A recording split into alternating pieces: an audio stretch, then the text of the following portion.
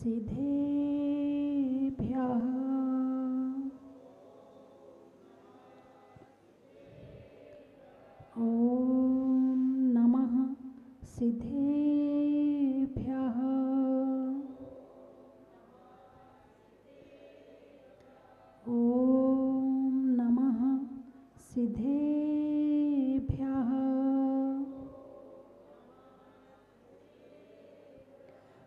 खजराट श्री आदिनाथ भगवान की।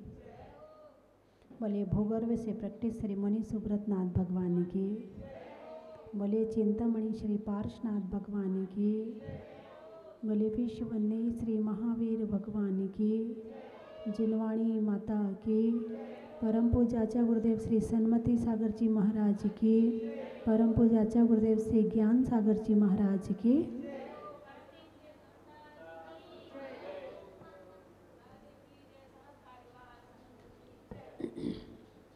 मंत्र बच्चा पढ़ता है। एक नमोकार मंत्र जवान पढ़ता है। वही नमोकार मंत्र बूढ़ा भी पढ़ता है। वही नमोकार मंत्र अजैन भी कोई कोई पढ़ लेते हैं। वही नमोकार मंत्र छुल्लक जी भी पढ़ते हैं। वही नमोकार मंत्र आरिका माता जी भी पढ़ती हैं। वही नमोकार मंत्र साधु भी पढ़ते हैं, उपाध्याय भी पढ़ते हैं और आचार्य भी पढ़ते हैं। नमोकार मंत्र वही है, लेकिन सबके पढ़ने में अंतर है कि नहीं है। किसका अंतर है? ज्ञान का अंतर है। बच्चा है, अज्ञानी है। उतना ज्ञान नहीं है उसके पास में कि वो भाव से ध्यान पूर्वक पढ़ सके। तोतली भाषा में, नमो लियंतालम, नमो थिद्दालम, नमो आयलियालम। ऐसे पढ़ेगा वो? उसे नहीं पता अरिहंत भगवान कौन है। उसे नहीं पता सिद्ध भगवान कौन है। आपने याद करा दिया, उसने बोल दिया। थोड़ा सा बड़ा हुआ। आपने बताया ये भगवान है, ये अरिहंत भगवान बच्चे हैं, पाठशाला में गए। पाठशाला में जाकर के वहाँ सिखाया। पंच परमेष्ठी होते हैं, अरिहंत सिद्धाचार उपाध्याय साधु। तो पता चला ये अरिहंत भगवान है। अच्छा नमो अरिहंताड़म इनको कहते हैं क्या? थोड़ा सा और ज्ञान हो गया। थोड़ा और बड़ा हुआ। तो जैसे जैसे बड़ा होता जाएगा और संस्कार यदि मिलते रहे तो ज्ञान विकसित हो जा, होता जाएगा। ज्ञान विकसित होता जाएगा। और संस्कार नहीं मिलेंगे तो ज्ञान विकसित नहीं होगा। अब वही नमोकार मंत्र साधु पढ़ता है। ध्यान में पढ़ते हैं। जब ध्यान में बैठते हैं तो क्या करते हैं? नमोकार मंत्र पढ़ते हैं। यानी कि नमोकार मंत्र एक ऐसा मंत्र है, आप मात्र नमोकार मंत्र से केवल ज्ञान की प्राप्ति कर सकते हैं। इतनी गहराई है नमोकार मंत्र में। केवल ज्ञान। बहुत बड़ा ज्ञान है। छोटा मोटा ज्ञान नहीं, केवल ज्ञान। यदि नमोकार मंत्र का भाव ज्ञान हो जाए, इसलिए तो बार बार आपसे कहती हूँ, भाव से पढ़ा करो, भाव से पढ़ा करो। आज से संस्कार शुरू होंगे तो आगे हो सकता है यही नमोकार मंत्र आपको केवल ज्ञान की प्राप्ति करा दे। आप बड़े बड़े शास्त्र नहीं पढ़ते हो, आप बहुत उपवास नहीं करते हो। आप बहुत ज़्यादा पूजा नहीं कर पाते हो, आप बहुत ज़्यादा कुछ नहीं कर पाते हो। कम से कम नमोकार मंत्र तो ध्यान से पढ़ लो। और एक मंत्र भी नहीं पढ़ पाए तो फिर क्या रहा जीवन में धर्म हमारे साथ? बस जैसे तोता नमो रियंताड़म नमो सिद्धाड़म ऐसे ही बड़े ने पढ़ लिया, जैसे बच्चे ने पढ़ा, बिना भाव के वैसे ही बड़े ने पढ़ लिया तो मतलब क्या रहा? तो ज्ञान एक ऐसी चीज़ है जो हमें सच्चाई दिखाती है। ज्ञान ऐसी चीज़ है जो हमारा रास्ता प्रशस्त करती है। ज्ञान ऐसी चीज़ है जो दूध का दूध और पानी का पानी बताती है। ज्ञान एक ऐसी चीज़ है जिससे मोक्ष मार्ग मिलता है।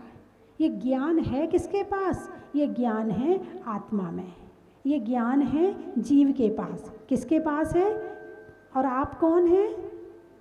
बोलिए ना, जीव हैं। आपके पास ज्ञान है कि नहीं है? अरे बोलिए ना, है। अब ज्ञान है, आँखों से देखते हैं, सामने दिख रहा है। अब सामने देख तो रहे हैं, सच्चाई देख रहे कि नहीं देख रहे? मान लो, धूप हो रही है, और आपने हरे रंग का चश्मा लगा लिया तो आपको धूप कैसी नज़र आएगी? हरे रंग की नज़र आएगी आपने काले रंग का चश्मा लगा लिया। तो धूप कैसी नज़र आएगी? काले रंग की नज़र आएगी। अब हमारे पास ज्ञान तो है, मगर मोह का चश्मा लगा है। ज्ञान कहता है, संसार में कुछ भी मेरा नहीं है, मगर मोह का चश्मा लगा है, ये भी मेरा है। ये भी मेरा है, ये भी मेरा है, ये भी मेरा है। कौन कह रहा है? मोह। कौन सा चश्मा लगाया है? मोह के चश्मा को उतारो और फिर देखो, मुझे किसी चीज़ से मोह नहीं है, किसी चीज़ से मोह नहीं है। फिर कहो कि मेरा, कह नहीं सकते हो। ज्ञान बताएगा। अभी क्यों नहीं दिख रही है सच्चाई? क्योंकि मोह का चश्मा लगा हुआ है। और हमने आज तक बिना चश्मा उतारे संसार देखा ही नहीं है। जब हम पैदा हुए थे तो मोह की घुट्टी तो पैदा होते पिला दी गई थी। ज्ञान की घुट्टी नहीं पिलाई थी, मोह की घुट्टी पिलाई थी। बेटा, ये तेरी बुआ है, बोल बुआ। बेटा, ये तेरी मम्मी है, बोल मम्मी। ये तेरे पापा हैं, बोल दादा, दादी, बोल बोल मौसी, बोल। पैदा होते मोह की घुट्टी पिलाई थी। लेकिन आचार्य कुंद कुंद की माने जब लोरी सुनाती थी, आचार्य कुंद कुंद जब बचपन में छोटे थे तो कहती थी, शुद्धोषि, बुद्धोषि, निरंजनोषि, संसार माया परिवर्जितोषि। हे बेटा, तू शुद्ध है, तू बुद्ध है, तू संसार की माया की तरफ़ से सो जा। ऐसे संस्कार दिए। उस माँ ने, कोई तेरा नहीं है, तूने जन्म मेरे कोख से लिया है मैं तेरी इस संसार की माँ हो सकती हूँ, लेकिन आत्मा को मैं जन्म नहीं दे सकती हूँ। मैं तो निमित्त मात्र हूँ, बाकी कर्म तो तेरा ही है। तू अपना भाग तू खुद बना। तू अपनी आत्मा का कल्याण तू खुद कर। तू शुद्ध है, तू बुद्ध है, तू नित्य है, तू निरंजन है, तू अजर है, तू अमर है, तू अविनाशी है। तो इस शरीर से अपनी आयु को मत मानना। तेरी आयु है ही नहीं है, तू तो हमेशा से था। है और रहेगा, तेरी मृत्यु होती नहीं है। ऐसी लोरी गा गा के आचार्य कुंद कुंद की माँ ने सुनाई तो वो बड़े होकर आचार्य कुंद कुंद बने, जिन्होंने समय सार जैसे ग्रंथ की रचना की, आत्मा का अनुभव किया। होते ही तो शुरू मतलब आपस में मोह के अलावा कभी उस बच्चे को सुनाया जाता, बेटा, तेरा कोई नहीं है संसार में। नहीं नहीं, हम है ना। तो क्यों चिंता करता? हम है ना तेरे। करते कि नहीं? पैदा होते मोह की घुट्टी पिला दी। हमने आज तक संसार को मोह का चश्मा उतार के देखा ही नहीं है। एक मंदिर आते हैं। एक मंदिर स्थान है जहाँ मोह का चश्मा उतारें। लेकिन मंदिर का वातावरण भी ऐसा बना दिया है कि वहाँ भी मोह का चश्मा नहीं उतारते हैं, इसलिए भगवान के दर्शन भी नहीं होते, तुम करने तो जाते हो, तुम रोज़ मंदिर जाते हो, लेकिन वीतराग भगवान के दर्शन नहीं होते हैं। भगवान के दर्शन तो होते हैं वीतरागता तुम्हें नज़र नहीं आती है, क्योंकि मोह का चश्मा उतारो तो इनकी वीतरागता नज़र आए। तुम्हें दिखे कि ये शुद्ध हैं, ये बुद्ध हैं, ये नित्य हैं, ये निरंजन हैं, ये क्रोध से रहित हैं, ये मान से रहित हैं, ये माया से रहित हैं, जैसे ये हैं, वैसे ही मेरी आत्मा है। इनको ऐसी आँखों से देखो तो तुम्हें अपनी आत्मा नज़र आएगी। कुछ क्षण के लिए तो मोह का चश्मा उतारो। जैसे मोह का चश्मा उतरता है, वैसे ज्ञान जागृत होता है। या जैसे ज्ञान जागृत होता है, वैसे मोह का चश्मा उतर जाता है। तो जीवन में सबसे ज़्यादा ज़रूरी है सच्चा ज्ञान। कौन सा ज्ञान? सच्चा ज्ञान। ज़रूरी है? सम्यक ज्ञान। सम्यक दर्शन। चारित्र तो बाद में आएगा। पहले ज्ञान तो कर लो। ज्ञान ही नहीं रहेगा तो चारित्र कहाँ से लाओगे? इसलिए सच्चा ज्ञान बहुत ज़रूरी है। अब ज्ञान सच्चा कैसे होता है? दूध का दूध। पानी का पानी। दूध अलग। पानी अलग यही है ना सच्चा ज्ञान? अरे बोलिए ना। यही है ना सच्चा ज्ञान? तो बस सच्चा ज्ञान कहता है आत्मा अलग, शरीर अलग। और जब शरीर ही मेरा नहीं है तो ये परिवार वाले मेरे कैसे हो सकते? जब ये परिवार वाले मेरे नहीं हो सकते तो ये दुकान मकान मेरे कैसे हो सकती है?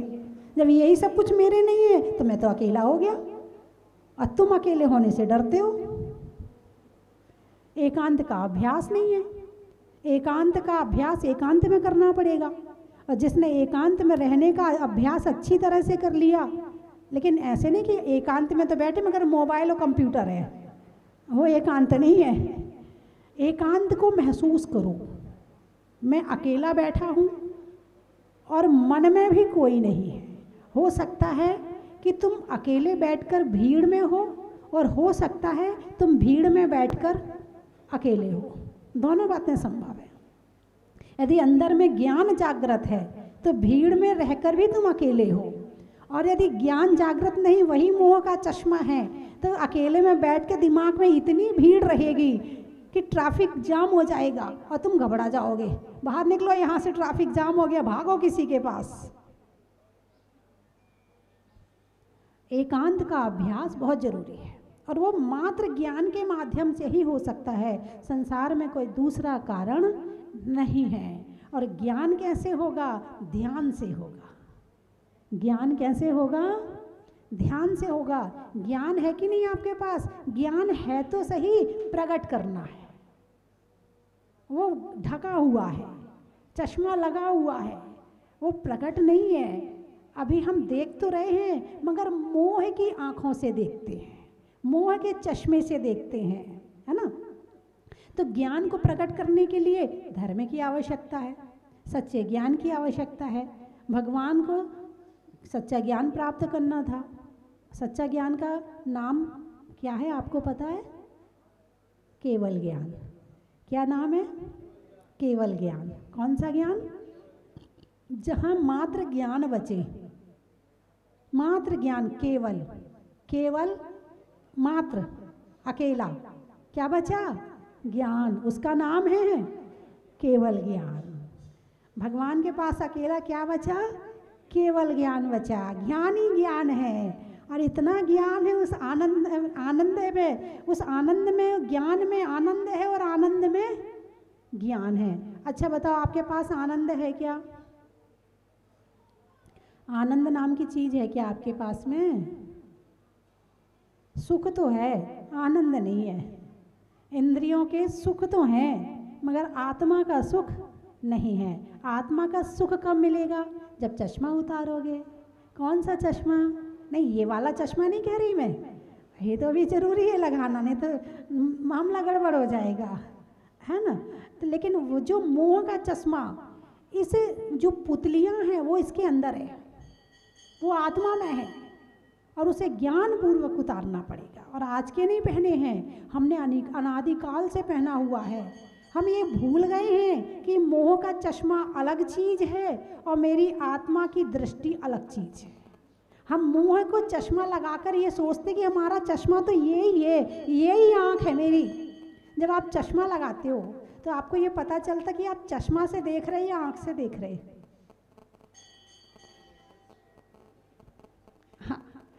अभी आपने नहीं सोची होगी ये बात, इतने दिन से चश्मा लगा रहे होगे, कभी आपने नहीं सोचा होगा कि हम देख किससे रहे हैं। अब आपको कभी महसूस होता कि मैं चश्मे से देख रहा हूँ? जिस समय लगाते हैं, उस समय एक क्षण को महसूस होता है। एक क्षण को कि हाँ मेरा चश्मा लग गया और मुझे साफ़ दिख गया। और उसके बाद पूरे दिन एक बार भी ये याद नहीं आती कि मैं चश्मे से देख रहा हूँ।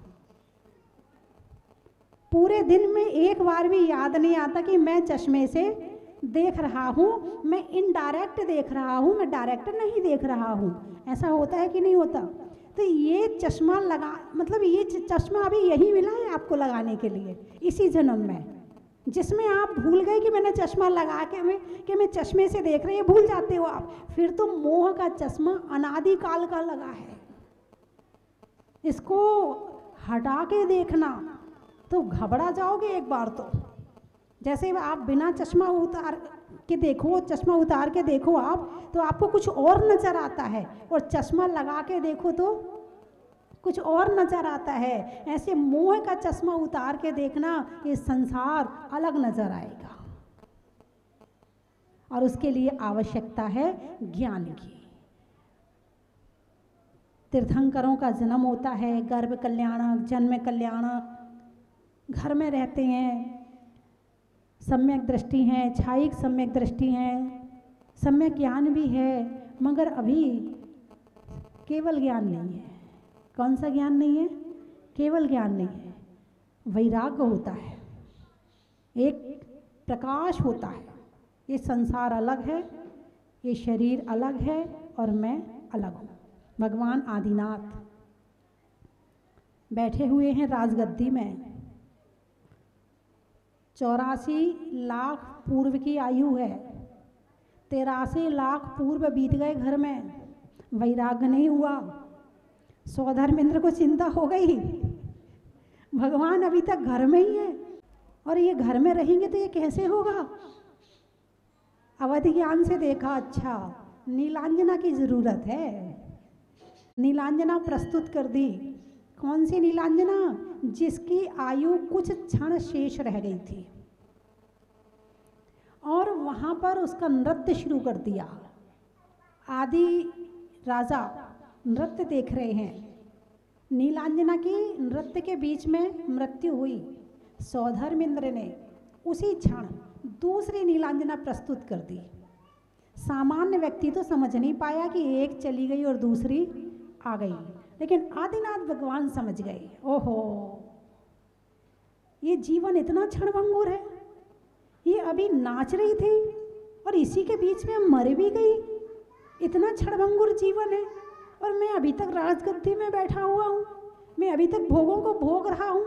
ना ना ना, मुझे कल्याण करना है आत्मा का, मुझे दीक्षा लेनी है वैराग हो गया। ये संसार नहीं है अपना, इसे छोड़ना है। आज नहीं तो कल छोड़ नहीं छोड़ना है। मरने के पहले छोड़ दो तो ज्ञानी, और मरने के बाद छोड़ो। अज्ञानी, छोड़ना तो है ही। अच्छा बताओ, इतने लोग बैठे, कोई परमानेंट हो तो बताओ।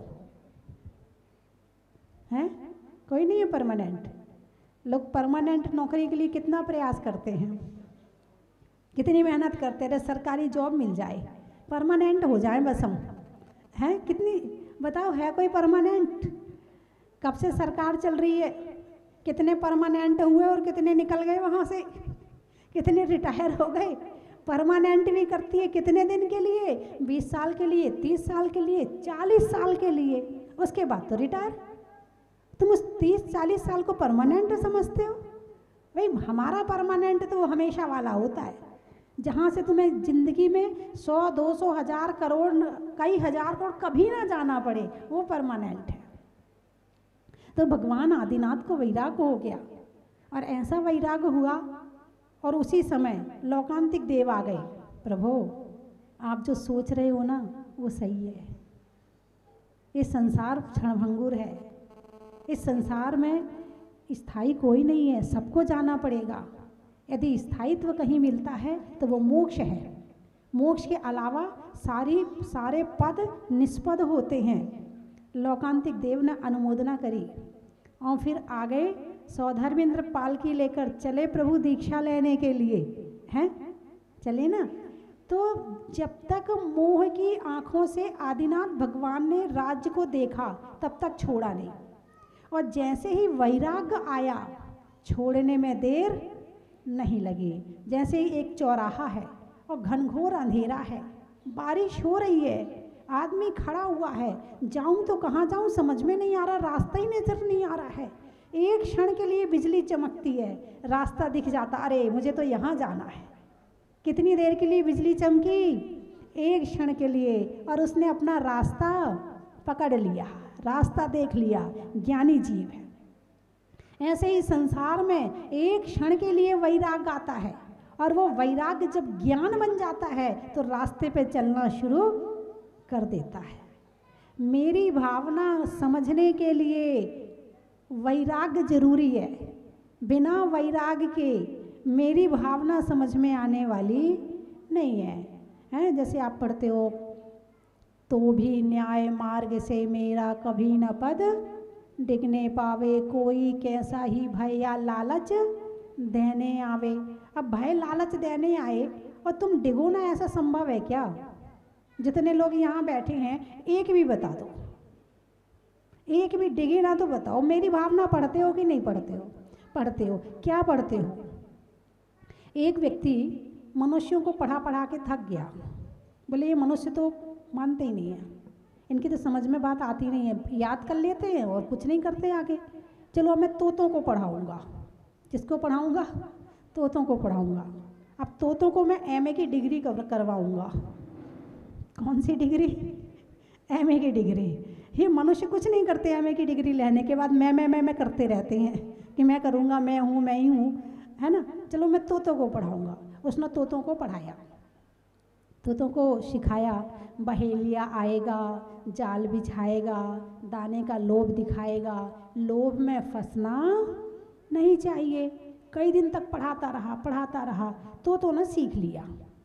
अब वो बिल्कुल याद कर लिया, और दिन भर एक ही मुख से एक ही बात बोलते सारे दिन। बहेलिया आएगा, जाल बिछाएगा, दाने का लोभ दिखाएगा, और लोभ में फंसना नहीं चाहे उसने सोचा, अब मेरे तोता तो सारे एम पास सारे तोते पेड़ पे जाके बैठ गए। बिछाएगा, दाने का लोभ दिखाएगा, लोभ में फंसना नहीं चाहिए, सारे तोते फंस गए।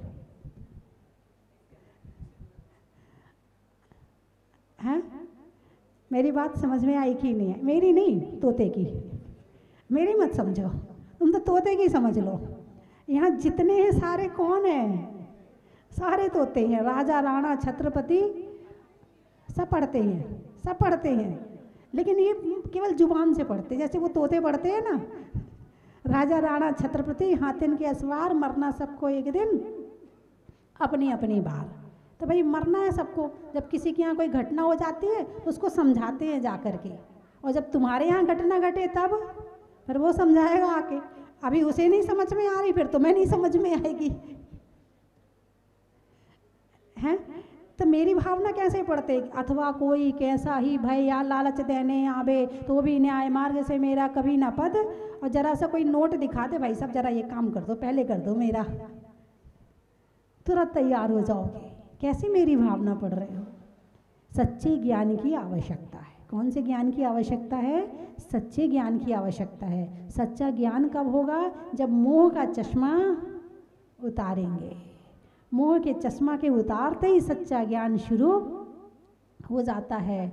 यानी कि जब सच्चा ज्ञान होता है तो कितने सुंदर सुंदर महल हों, सोने के महल हों, सोने के खंभे लगे हों, घर में सुंदर सुंदर रानियाँ हों, आज्ञाकारी बच्चे हों, आज्ञाकारी दासी दास हों, सुंदर बढ़िया अच्छा अच्छा खाने को हो, जब वैराग आता है तो ये सारी चीज़ें अपने आप छूट जाती हैं, छोड़ना नहीं पड़ता है। पिछले जन्म का अभ्यास था, एक क्षण में छोड़ दिया सारा। कहाँ चले गए? जंगल में चले गए। कहाँ चले गए? जंगल में। क्योंकि किसी भी कार्य के लिए द्रव्य, क्षेत्र, काल और भाव चारों की आवश्यकता होती है।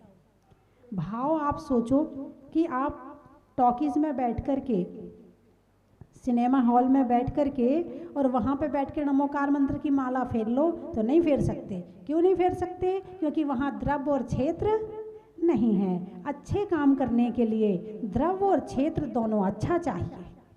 यदि दोनों अच्छे नहीं होंगे तो काम नहीं होने वाला है। अब घर में रह करके यदि घर में किसी की मृत्यु हुई है और कोई कहे, भाई जरा वो शादी के बन्ना बन्नी गा के सुनाओ जरा। तो वो संभव है क्या? नहीं है संभव। क्यों संभव नहीं है? क्योंकि वहाँ का द्रव्य और क्षेत्र अलग प्रकार का है। वातावरण अभी अलग है। कहीं पर शादी का वातावरण है और किसी से कहो कि रो तुम। अरे कैसे रोए? क्यों रोए? क्योंकि अभी द्रव्य और क्षेत्र नहीं है। तो भाव बनाने के लिए द्रव्य और क्षेत्र की भी आवश्यकता होती है। तो जब वैराग आता है तो दीक्षा लेकर के जंगल चले जाते हैं। शुद्ध द्रव्य है, शुद्ध क्षेत्र है। और जब वो ध्यान करेंगे तो काल अपने आप शुद्ध हो जाएगा। तो जंगल में गए और भगवान ने वहाँ ध्यान लगाया। कहाँ ध्यान लगाया? पेड़ के नीचे। कहाँ ध्यान लगाया? वो पेड़ भी बड़े पुण्यवान है, जिसके, जिस पेड़ के नीचे भगवान ने ध्यान लगाया होगा। और ध्यान लगाते लगाते लगाते कर्मों का निर्जरा करते करते करते करते और एक अंत में ऐसा ध्यान लगाया कि केवल ज्ञान हो गया। कौन सा ज्ञान हो गया? केवल ज्ञान हो गया। ज्ञानावरण कर्म का नाश हो गया। कौन से कर्म का? ज्ञानावरण। ज्ञान पर आवरण था, ज्ञानावरण।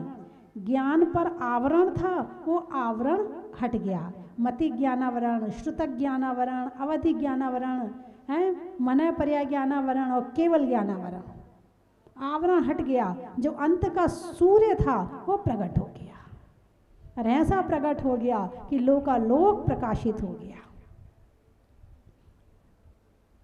तो ध्यान और ज्ञान ज्ञान के लिए ध्यान चाहिए और ध्यान के लिए ज्ञान चाहिए। ज्ञान नहीं होगा तो ध्यान किसका करोगे?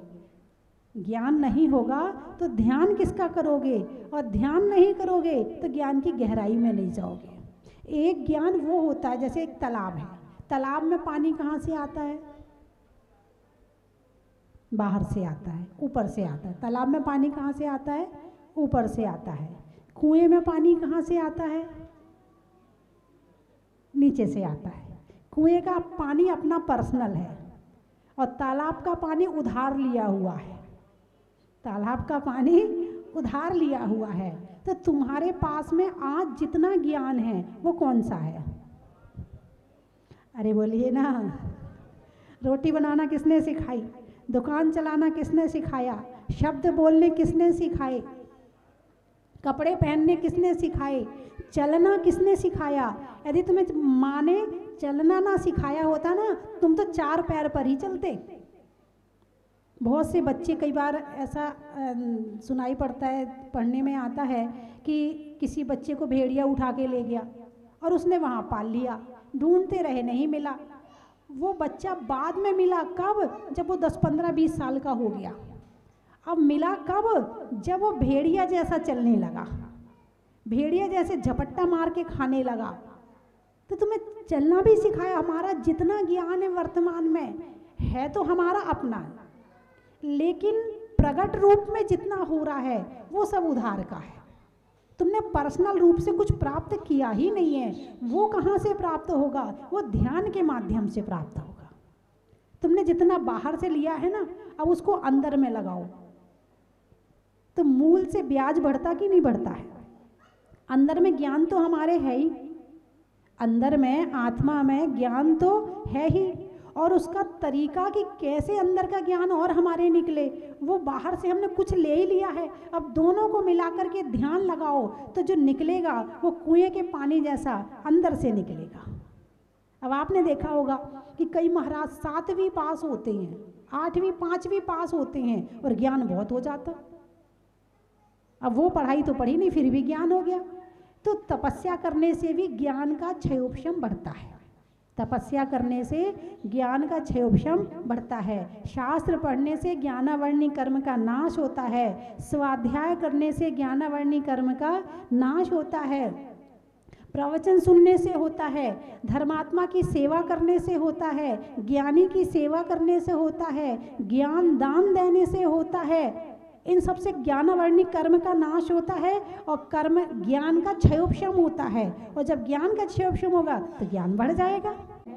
अज्ञान की श्रेणी में आता है, क्योंकि वो पुद्गल में लग रहा है। किसमें लग रहा है? किसमें लग रहा है?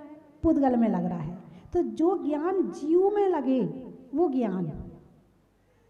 जो ज्ञान जीव के कल्याण में, जीव के विकास में, आत्मा के ध्यान में लगे, वो हो गया सच्चा ज्ञान। और जो ज्ञान संसार के विकास में लगे, वो हो गया अज्ञान। वहाँ से पाप का उपार्जन ही होगा। लेकिन उसमें जैसे कि एक बच्चा है, एक बच्चा है और खेल रहा है। एक हिरण का बच्चा है, फुदक रहा है और घास खा रहा है, ठीक है? और एक बिल्ली है, बिल्कुल शांति से बैठी है चूहे के बिल के सामने। चूहे के बिल के सामने बैठी है, शांति से बैठी है। और हिरण का बच्चा खुदा करा है, पाप का बंद किसको हो रहा है? नहीं, वो तो शांति से बैठी है, कुछ भी नहीं कर रही है। वो तो कुछ भी नहीं कर रही है। और हिरण का बच्चा तो उछल रहा है, उसको ज़्यादा पाप का बंद होना चाहिए। लेकिन नहीं, जहाँ कषाय है, जहाँ हिंसा है, वहाँ पाप का बंद ज़्यादा है। भले बिल्ली बिल्कुल शांति से बैठी है। तो ऐसे ही संसार के कामों में, जैसे महिला है, रोटी बना रही है। उसके भाव में ना तो क्रोध है, ना मान है, ना मायाचारी है, ना लोभ है, लेकिन आरंभी हिंसा हो रही है। तो पाप का बंद हो तो रहा है, मगर कम होगा। और वहीं कषाय शहीद करती है तो पाप का बंध ज़्यादा होगा। ऐसे ही संसार के काम करते हो, पाप का बंध तो होता ही होता है। कम हो या ज़्यादा हो। कषाय सहित होगा काम तो ज़्यादा होगा। और कषाय तो खैर हर पल रहती है, किसी ना किसी कषाय का उदय तो हर पल चलता है, चाहे व्यक्त में ना आ पाए, सूक्ष्म रूप में आए, लेकिन चलता तो हर क्षण ही है कषाय का उदय, है ना? तो उसमें कम बंद होता है। कषाय से ही स्थिति और अनुभाग का बंद होता है। तो ये कब कम होंगे? ज्ञान के प्राप्त होने पर। भगवान जंगल में चले गए और केवल वृक्ष के नीचे बैठे हैं। तो वृक्ष भी बड़ा पुण्यशाली है। मेरे मन में विचार आया कि जिस वृक्ष के नीचे बैठकर भगवान को केवल ज्ञान की प्राप्ति हुई है, क्यों ना वो वृक्ष यहाँ पर लगवाए जाए? मन में ऐसे भाव आए। तो 24 वृक्ष लगवाने के भाव यहाँ पर मैंने बनाए। और मैंने ऐसी चर्चा सारे तैयार बोले, माता जी, ये तो बहुत अच्छी बात है, यहाँ ज़रूर बनाएँगे। तो 24 वृक्ष यहाँ लगाई जाएँगे और वो बड़े बड़े लगाए जाएँगे, छोटे नहीं लगाए जाएँगे। छोटे लगने में तो बहुत टाइम लग जाएगा। तो बड़े वृक्ष ही मंगवाए जाएँगे और बड़े वृक्ष मंगवा करके यहाँ पर 24 वृक्ष लगाए जाएँगे और उसके साथ उसके नीचे चरण स्थापित किए जाएँगे उन तीर्थंकरों के। जिन तीर्थंकरों को उस वृक्ष के नीचे केवल ज्ञान की प्राप्ति हुई है। और जब आप कभी जहाजपुर आओ तो तुम भी थोड़ा सा ध्यान लगा लेना बैठ करके। उनको तो केवल ज्ञान हुआ था छोटा सा ज्ञान हमें भी हो जाए। ज़्यादा नहीं तो थोड़ा सा ज्ञान हमें भी हो जाए। उस केवल ज्ञान वाटिका में हमारा भी कोई ज्ञान का फूल खिल जाए। क्योंकि सच्चे ज्ञान के बिना कल्याण हो ही नहीं सकता है। घर के काम कितने कर लेना? काले बाल से सफ़ेद बाल हो जाएँगे, मगर घर गृहस्थी का काम कभी ख़त्म होने वाला नहीं है। चाहे तुम्हारे घर में रोटी बनाने का काम हो या दुकान में पैसा कमाने, दो ही काम तो बचे।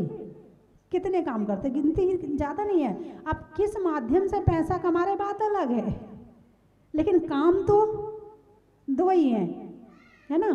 कि रोटी बनाना और धन कमाना। आप क्यों कर रहे हैं? बच्चों के लिए कर रहे हैं? अपने लिए कर रहे हैं? किसके लिए कर रहे हैं? बात अलग है। लेकिन काम तो दुनिया में केवल अरे बोलिए ना। तीसरा काम हो तो बताओ। है? और उस उसी में इतना रम गए हैं। इतना मन लगता है। नोट गिनते हुए मन भटकता है। नहीं भटकता है। और माला फेरते हुए। अरे बोलिए ना। रोटी बनाते हुए मन भटकता है? नहीं भटकता है। और पूजा करते हुए? हाँ ये ये नहीं भूलोगे कि कितना नमक डाला? सही डालोगे बिल्कुल। और पूजा करते करते लाइन भूल जाओगी, पढ़ते पढ़ते भक्तांबर की लाइन भूल जाओगी। हैं, चाय में चीनी डालना नहीं भूलोगी। कितनी डालना है और कब डालना है? भक्तांबर की लाइन भूल जाओगी। ये रुचि बताती है, मोह किस पर जाता है? संसार के प्रति मोह ज़्यादा है और धर्म के प्रति कम है। तो धर्म के प्रति कम होने की रुचि ये बताती है कि आत्मा के प्रति कम है। यदि आत्मा के प्रति बढ़ जाए तो धर्म में तो अपने आप मन लगने लगेगा। किसी से को कहने और बताने की ज़रूरत नहीं पड़ेगी। तो बंधुओं, मेरी भावना को समझने के लिए, मेरी भावना मतलब मेरी भावना। किसकी भावना? कौन सी भावना? मेरी भावना। मेरी भावना को समझने के लिए सच्चे ज्ञान की आवश्यकता है। नहीं तो ये कोई कैसा ही भय या लालच देने आवे, अभी यहीं किसी के सोने का कुछ मिल जाए। क्या कहेगा मन? रख लो, किसी ने देखा थोड़ी है। ईमानदार तभी तक है जब तक बेईमानी करने का मौका ये कब मेरी भावना कब समझ में आएगी? जब वैराग्य कहेगा अरे क्या है? ऐसा सोना तो ज, कई जन्मों में इकट्ठा किया और छोड़ दिया। अभी भी वही कर रहे हैं। अरे छोड़ो। नहीं लेना है। जितना मेरी कमाई का मेहनत का है बस वो मेरा है। बाकी मेरा नहीं है। कम से कम इतना भी जीवन में आ जाए तो भी बहुत बड़ी बात है। कम खाना। कम पहन लेना। कम पहनने की तो खैर आजकल शुरू हो गई है। पहनने के लिए है तो ज़्यादा। मगर पहन कम रहे हैं। पहले पहनने की होड़ थी कि कितना ज़्यादा पहनते हैं। अब कम पहनने की होड़ की कौन कितना कम पहनता है? तो चर्चा वो नहीं करनी है, चर्चा ज्ञान की करनी है। समय हो गया है। समाप्त करूँ? नहीं माता जी। ओहो। मेरा तो टाइम हो गया। है ना? बाकी आप तो घर में सुनते हैं ना। तो कोई दिक्कत नहीं। आपके घर आ जाऊँगी सुनाने के लिए। रोज़ आती हूँ ना सुबह शाम। रोज़ सुनते हैं। बस फिर।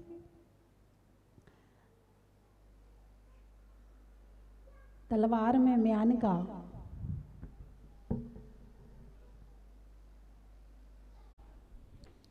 शरीर में जान का और करने में ध्यान का।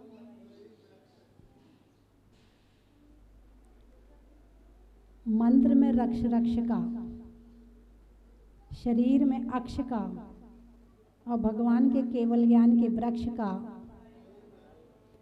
पानी में खोलने का, बनिया में तोलने का, आपके ज़ोर से बोलने का। अनाज में चने का, गर्मी में पने का, और मोह के चश्मा उतारने का। कहाँ कहाँ से आए हैं? दीपालपुर। अच्छा। गाने में सुर का, नृत्य में नूपुर का और आने वालों में देपालपुर का। अमरावती। महिलाओं में सती का, होने में अच्छी गति का और आने वालों में अमरावती का। देवास। बहू में सास का। लेने में सांस का और आने वालों में देवास का। अडूल? अच्छा। वृक्ष के मूल का और शिखर के चूल का और आने वालों में आडूल का। महू? अच्छा। व्यंतर के भेदों में हु का और सास के लिए बहू का और आने वालों में महू का, गुरुओं के आशीर्वाद का और आने वालों में औरंगाबाद का।